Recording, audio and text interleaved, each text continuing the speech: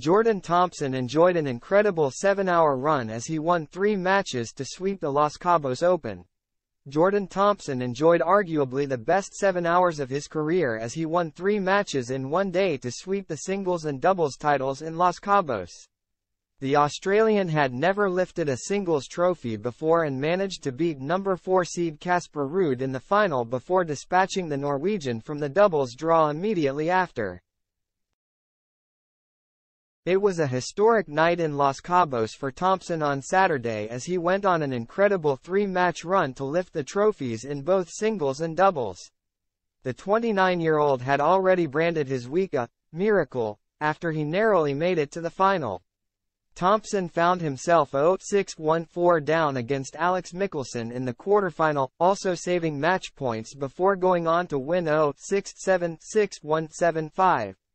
In the semis, he dispatched top seed Alexander Zverev 7-5-4-6-7-6-2, in 3 hours and 41 minutes. And he was faced with his biggest task yet on Saturday, playing three matches in a row from 8 p.m. local time. The Australian was 0-2 in career ATP Tour singles finals before he faced Ruud in Los Cabos but he produced one of his best performances of the week to beat the three-time Grand Slam runner-up 6-3-7-6-4, breaking Ruud three times.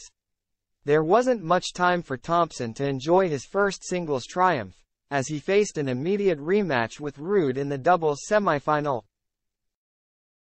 And it wouldn't be a surprise if the 25-year-old doesn't want to see Thompson for a while, as the Australian partnered with countryman Max Purcell to beat Ruud and William Blumberg and reach the final.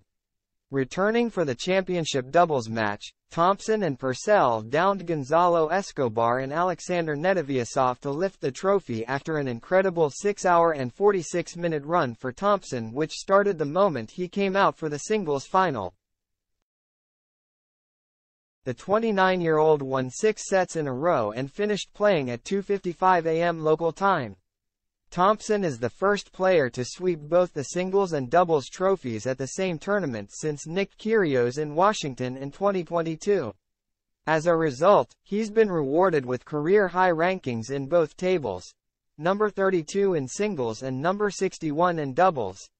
After lifting his maiden singles title, the 29-year-old reiterated his claim that the week had been a miracle. Thompson said, I spent so many hours on the court this week. In the quarterfinal I could have been double bageled. I could have been losing 6 to 0, 6 to 0.